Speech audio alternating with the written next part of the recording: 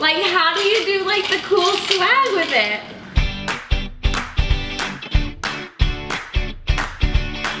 Hey guys, Alexa here, and I'm so excited to have one of Houston's best mixologists here on Let's Get Lexi, Alex Negroni. Thank you so much for coming. I am so excited. So I reached out to you guys on the socials and asked you what kind of drink you would want Alex to make, and you guys voted a pineapple drink. Of course. Of course, So I was happy about that. And you came up with, We're gonna make a pineapple daiquiri.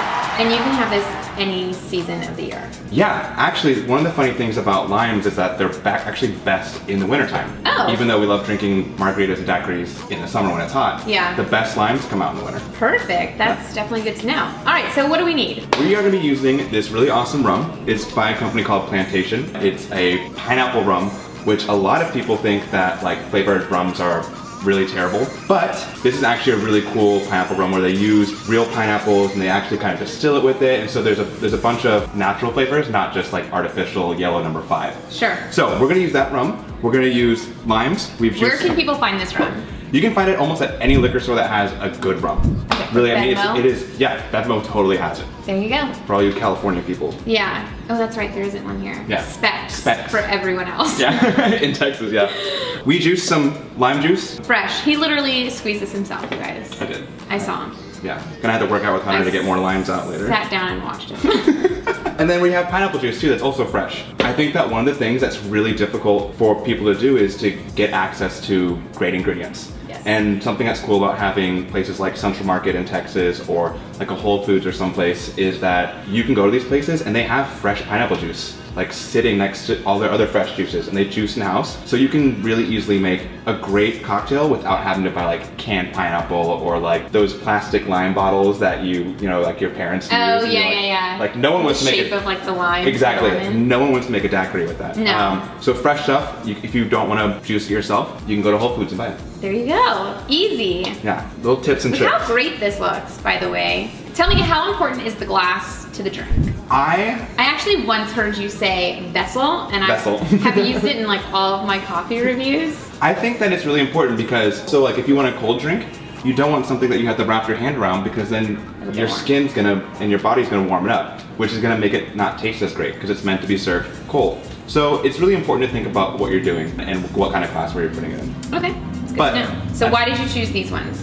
I love these ones because they're kind of elegant, they're kind of cute, and a real great daiquiri. I think some people think daiquiris are always frozen and blended, but I think a great daiquiri comes in a, like, a glass like this. Ooh, very on brand. Okay. All right, so how do we make this? Okay, so we're both gonna make one of these. Oh, oh my gosh. Yeah, so I'm gonna shake and you're gonna shake. We're gonna do it together. You guys, this is really such an honor to have Alex here showing us how to make this firsthand. Alex is like on covers of magazines and stuff for his mixology skill. So this is very, very cool. Okay, sorry to interrupt you. You're totally fine. I'm so excited to be here. I think a lot of times people think that there's this really complicated process to bartending, and ultimately it's just mixing things up and shaking it together, but making people happy. And when you're mixing with alcohol, that usually helps. Yes.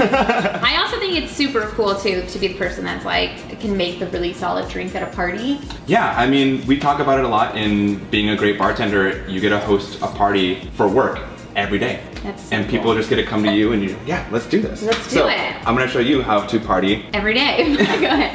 No, go ahead. So, okay, first we're gonna take this rum and we're just gonna fill this up to the top. It's gonna be about two ounces. So Okay. you go first and then I'll go over here. Two ounces. Yep. Nailed it. Perfect. Okay, just pour it in. Yeah. All right, and now you're gonna use this side of this one. Okay. And you're gonna put three quarter ounce of lime juice and three quarter ounce of pineapple juice. That's the whole thing of this, right? yeah, and then I'm gonna build some over here too. I have like no swag to any of my pouring. So Perfect. I'm gonna do the same. cool. So far, so good. Pretty So far, so good. And then if someone can't get access to like fresh ingredients, Yeah. is it okay to use store bought, like you run to Kroger or Ralph's or whatever Yeah. to get and pick up concentrated? Yeah, I mean, ultimately it's about what you like and what you like drinking, right? I'm used to working with fresh ingredients, right? I think you could talk to any chef or any baker and they'll tell you the same thing, like, sure, we all have our preferences to using things that we have a relationship with or that we Sure. really enjoy. But at the end of the day, it's whatever you like to, to mess with. Sure. Okay, so this is a simple syrup. Yeah, which he also just whipped up, you guys, in my kitchen before this video. There- I didn't even see him make it. I know he made it. I just didn't even see it. That's how fast it was. How did you make this simple syrup? So I like using what's actually a little bit more of a rich simple syrup where you use two to one re- recipe. So you use two parts sugar to one part water and you use hot water. So what I did is we would do something like one cup of hot water and two cups of sugar. Got it. So that it's instead of a one to one, right? So we use a two to one here, and the reason I like that is because you don't have to use as much of the sugar, which when you're working with cocktails, you kind of want something that's just really straight and to the point. You don't want something that's going to be really liquidy and watery. Okay. So when you can make a rich, simple syrup, you can have something that's a little bit more approachable and easy. Got it. So I will put the recipe down below if you guys didn't catch that. So we're going to use a half ounce of that. That's on the Okay. back side here. Perfect. How's that? Perfect. Yes. Oh, It's okay. splish The classic one. bartender, keep a bar rag on your shoulder. Oh. All right, now we're going to add ice and shake. All right, you have a really amazing shake motion. so I'm excited for you guys to see it, and I'm excited to learn how to do it. So- a little Carmen Miranda into it. Yeah, we can Bring out the Puerto Rican side. You know Yeah, what can you I add in that music? Like, so we're gonna fill this up with a bunch of ice. Okay, Perfect. That one's gonna be for you. okay. And then people, if they don't have like these jiggers at home, Mhm. what could they use instead to measure out? Just like a measuring cup? Um, well, it depends. I would use. I think that if you're gonna be bartending at home, especially for guests, it's really easy to order one online. Okay. They cost maybe ten dollars, and it's something that's super useful. Especially because so many people love bartending nowadays at home. and Yeah. It's so approachable that I would definitely recommend just buying one and just getting. I can give you a link to one. Okay, perfect. So we'll put that link in the description below as well, guys. Okay, so we're gonna seal these up. Oh my gosh, this makes me so nervous. Okay, How did you seal this?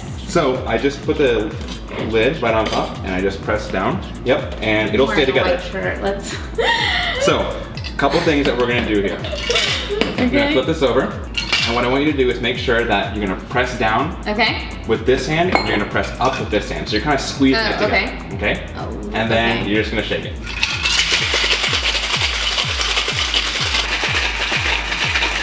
How do you feel? so much better than mine. Yeah, there you go. How do you even?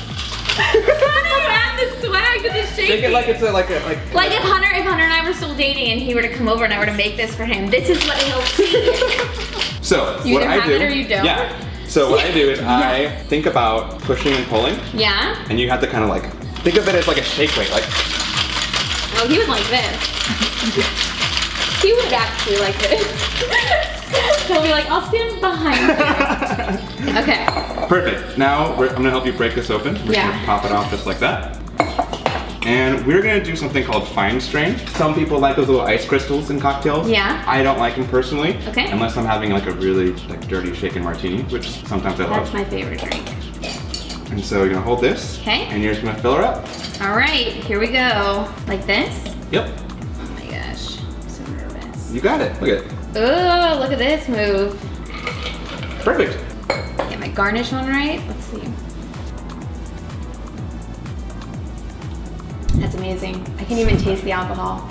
That's the dangerous part. That is the dangerous. A really great cocktail that you can't taste the alcohol in. This is extremely delicious and refreshing. it's great. It almost feels like like just really satisfying. Like it quenches your thirst and it probably shouldn't. And that's something that's really great about a well-made daiquiri, especially with like really great lime juice, is that you taste it and you're like, oh, it's just refreshing. Yeah, I had no idea daiquiri could be that refreshing. Yeah. I guess the ones I've had are like crappy ones from like New Orleans or something like that. Yeah, like the sour mix that are like, rum. yeah. But this one's really good. Alex, this is amazing. Thank you. Yeah. Now we have to get the real taste tester down. Oh yeah. Hunter, we also have another special guest here, Eggy. here, I'll give this one to Hunter since I drank out of this one. Okay. Ooh, this is fancy. Isn't it? this mine? Ooh. Cheers. I feel Cheers luxury. to Happy, Ecky's cheers. birthday. Happy birthday. Oh, It's all good. the floor was thirsty. When you know.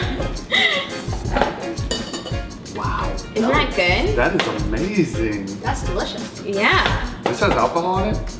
Right? Just a little bit. She made that. I made that one. I didn't make that one. I love this taste. Yours is probably like six points better. I'm a very, I'm a than very mine. big fan of like citrusy and like compare? sour, and it's Mm-hmm. like got that like really good, perfect taste. This one was made This by me. A little lime by action in Yeah. there. This one was made by Alex. Okay. His is a little bit better. I think maybe mine had a little I bit think- too much sweet stuff. I think we just need to add more hip to your More shake. hip to the shake. a little Yeah, more. hip. more hip, and I think it'll happen. yeah. I think they're both good. They both are good. They're both good. Yes, Y'all did it. we did Good it. job. Thank you. Okay, I'm gonna enjoy this. Bye. Yeah. See you later. it's delicious, right? Right? Cool. There you have it. Is Well, that it? there you have it, you guys. Alex, thank you so much for coming on. And you guys, let me know how you like this cocktail. And if you guys make this cocktail, be sure to tag Alex and I in the photo because we love to see you guys making the stuff that we create here on Let's Get Lexi. And until next time, I'll see you in the chat. Bye. You have to try this cocktail.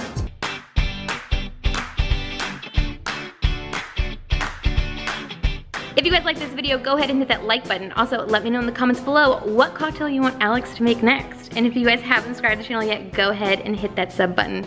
And I'll see you in the chat. Bye!